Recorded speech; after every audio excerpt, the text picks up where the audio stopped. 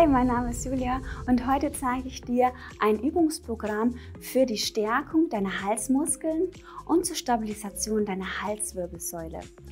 Die erste Übung ist eine Übung, wo wir ein bisschen Equipment brauchen. Hol dir einen Sack mit Kieselsteinen oder Sand aus dem Garten und ähm, befülle den Sack so, dass du ein leichtes Gewicht hast. Ja? Wie viel du nimmst, das ist dir überlassen und du kannst auch am Anfang ähm, ohne Gewicht trainieren. Ja, schau einfach, wie es für dich richtig ist. Eher lieber langsam steigern. Okay, also du hast deine Tüte zusammengebunden und legst sie dir auf den Kopf und wir balancieren. Wir balancieren.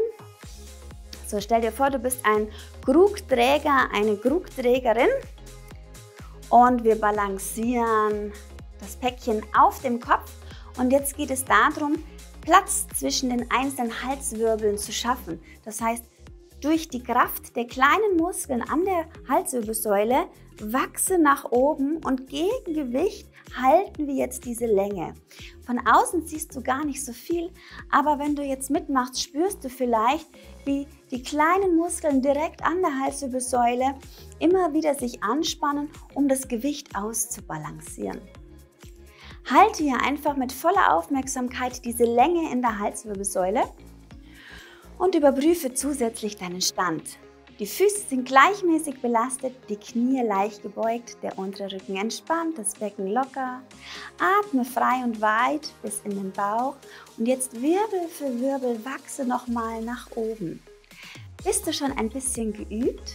Kannst du jetzt auch langsam den Kopf zur Seite drehen?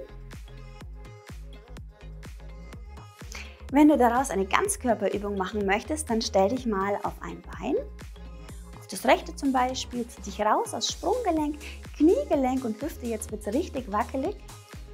Ja, schaffe Platz zwischen jedem einzelnen Wirbel, halte das Gewicht und atme frei und weit.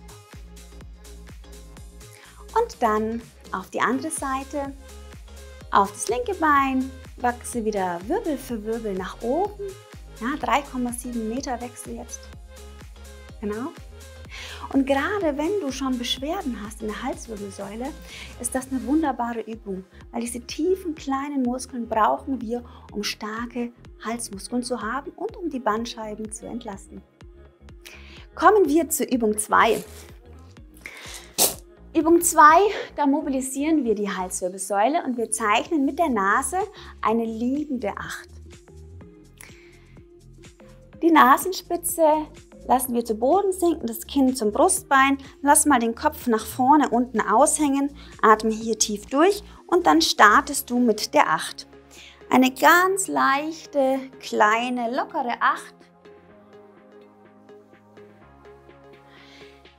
Lass den Kopf schwer zur Seite sinken. Lass dich richtig schön in die Schleife reinsinken. Ganz wichtig, Lass die Kiefermuskeln locker, die Zähne sind voneinander gelöst. Ja, feste Kiefermuskeln heißt fester Nacken. Überprüf dich mal. Dann atmest du tief durch, ganz frei und weit und du genießt mal diese schöne Achterschleife. Und vielleicht wirst du langsamer in der Bewegung. Mach diese Übung eher langsamer als zu schnell. Und dann spürst du vielleicht Punkte auf dieser Strecke in der Nackenmuskulatur, die richtig ja, schmerzhaft sind. Du lockerst hier die Muskulatur im Nacken auf für eine wunderbare Durchblutung, gerade auch im oberen Teil der Halswirbelsäule, im Übergang zum Kopf. Und dann komm zum Stillstand. Nach dies übergreise mal die Schultern und dann schließ mal die Augen und spür einfach mal nach. Schau mal, wie sich jetzt die Halswirbelsäule anfühlt. Vielleicht gut durchblutet, vielleicht weit, vielleicht spürst du auch die Länge in der Halswirbelsäule. Und dann kommen wir zur Übung 3, die Dehnung der Nackenmuskeln. Lass den Kopf zur Seite sich neigen. Ganz wichtig, die Knie leicht gebeugt, der untere Rücken entspannt, die Schultern schwer werden lassen. Komm mal in der Position an und wenn der Kopf nach rechts geneigt ist, dann lass den linken Arm sinken. Lass mal eine Länge im Schulter-Nackenbereich auf der linken Seite entstehen. Und dann beginnst du mit einer langsamen Bewegung, indem du die Nasenspitze Richtung Boden drehst und anschließend Richtung Decke. Eine langsame Nein-Bewegung und du suchst jetzt den Punkt, wo du den meisten Zug spürst. An diesem Punkt angekommen, beginnst du eine Ja-Bewegung. Das heißt, das Kinn zum Brustbein und wieder zurück. Richtung Kopf. Zur Brustbein und langsam die Nasenspitze etwas zur Decke. Mache diese Übung ganz langsam und suche den Punkt, wo du die meiste den Schmerz erfährst.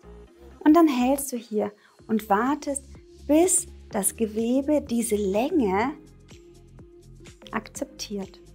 Anschließend komme zurück, kreise die Schultern und baue die Übung zur anderen Seite auf. Kopf zur Seite neigen, die Schultern tief sinken lassen, den Nacken entspannen, den rechten Arm ganz schwer werden lassen und dann die Nasenspitze.